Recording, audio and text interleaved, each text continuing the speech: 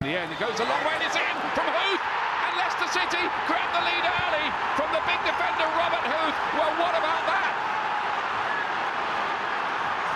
Really fabulous goal, isn't it? The way the skill just to lift the ball over, the little dummy and then emphatic strike.